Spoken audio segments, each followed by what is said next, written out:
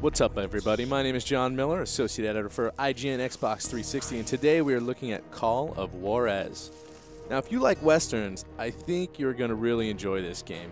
It's from Polish developer Techland, was released actually on the PC in 2006, and it's kind of a half serious, half tongue in, in cheek look at American culture in the Wild West. And uh, for the most part, I think Techland did a great job.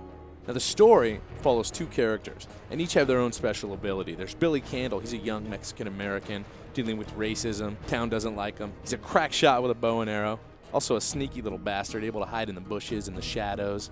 Kind of a master with a whip. He's able to swing on tree limbs and also whip off coyotes and giant spiders that may attack him in, in scary, dark caves.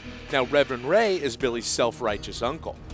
He's kind of a reformed, badass gunfighter turned preacher due to some events we'll get to in the story we don't want to spoil for you here.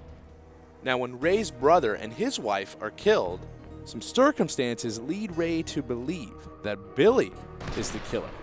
And then this epic game of cat and mouse begins, and it touches on just about every single Wild West cliche we have out there. There's that wise old Indian sage that's going to teach Billy some lifelong lessons. There's the sultry prostitute in the dirty saloon. Oh my, you have grown. There's also, of course, the lost gold of Juarez. Now, what's cool about Call of Juarez single player games is that you actually trade off episodes with these two characters as Ray is hunting down Billy. As Billy, you're trying to escape, run away, use your stealth and platforming abilities to hide. Ray is trying to blast through every evil varmint in his path on his way to capturing his nephew. In terms of gameplay mechanics, there's some interesting things. Billy's actually really good with his bow and arrow, so when you hold down that left trigger to aim, he'll go in slow motion. You'll see this great effect as the arrow actually flies through enemies' heads and blood splatters everywhere. It's pretty gory. It's M for mature. Now with Ray, keep in mind he's a preacher. He always has his Bible at his side. So if you want to, you can actually equip that Bible, spout off some verses of Revelation, and you will literally put the fear of God in your enemies. Some of these guys will actually freeze and look up at you as they hear you talking about the four horsemen of the apocalypse. Of course, on the other hand, pull the trigger and deal justice. Ray also has a concentration mode. It's kind of the slow motion bullet time we've seen in a lot of shooters out there. Basically, every 20 seconds, you're going to have the ability to draw your two pistols, and two aiming reticules, one for each pistol, will slowly move together.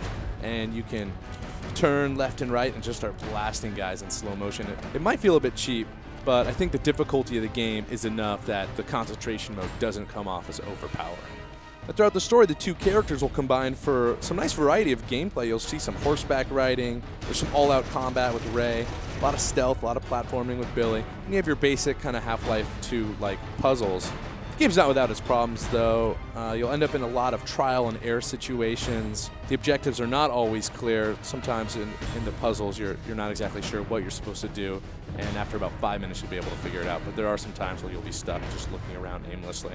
On the other hand, multiplayer is a treat on Xbox Live. You're able to control four classes. You can use dynamite and sniper rifles, and you could be a typical uh, gunslinger or a rifleman. There's a lot of uh, variety here. Some of the maps are pretty bland, others are, are, pretty exciting, but you'll get a chance to ride on horseback in games that capture the flag, and I gotta tell you, there's nothing more satisfying than riding on horseback, equipping your sniper rifle, aiming about 200 yards across the map, and blasting your friend who's about to, to steal the gold. It's, uh, it's quite an exciting moment.